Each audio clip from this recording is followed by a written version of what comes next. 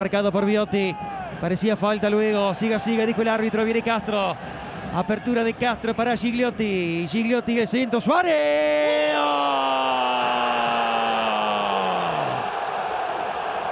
¡Gol!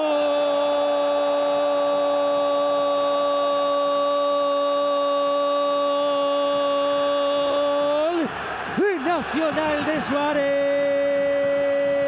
Habrá que revisar el arranque de la jugada. Es por lo menos polémico. Pero en qué momento, minuto 42. Allí está el gol de Suárez para volver a gritar después de tantos partidos sin